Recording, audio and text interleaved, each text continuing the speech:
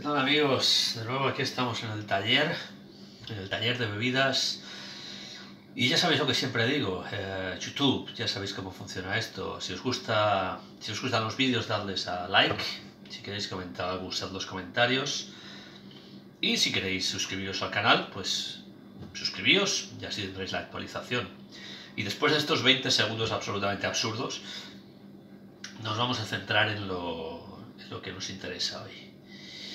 Aquí tenemos a nuestra compañera del día de hoy, que es Budweiser, va, eh, pero tener en cuenta que va a ser Budweiser americana, la Budweiser de Estados Unidos, de US, porque algunos también reconoceréis como Budweiser, la que se produce en la República Checa. Que bueno, se dice que es la original, eh, en cierto modo, así es. Es una historia larguísima, con litigios, han pasado por por juicios, por muchísimos problemas. Eh, así que no os los voy a contar todos. Bueno, pero la, la Budweiser americana fue creada en, en, San Luis, en el estado de Missouri, en el siglo XIX. No os digo el año porque ahora mismo no me acuerdo. pero bueno, eh, la cuestión es que no tiene tanta, tradición como la Budweiser checa, que data del siglo XIV, de, la Edad Media prácticamente, ¿no? No tiene nada que ver. Eh, es más, este tipo de cerveza, esta Budweiser es una lager, la Budweiser americana, cuando la otra es más eh, un tipo pills. Y, vamos a dejar de enrollarnos, ¿no? Vamos a abrirla y a catarla. Por cierto que esta, concretamente, tiene un 4,5 de, de alcohol, que no está mal.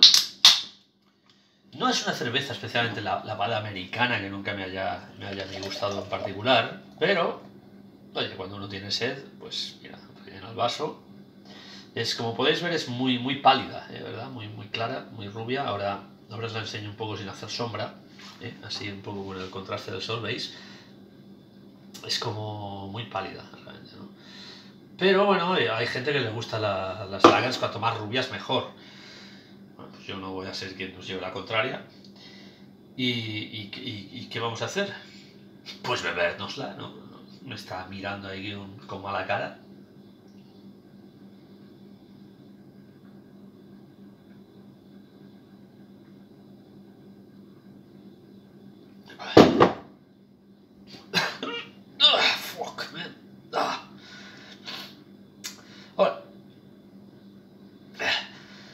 No, no es mi cerveza preferida, pero coño, cuando uno tiene sed se la bebe y ya está. Voy a, voy a, voy a acabármela.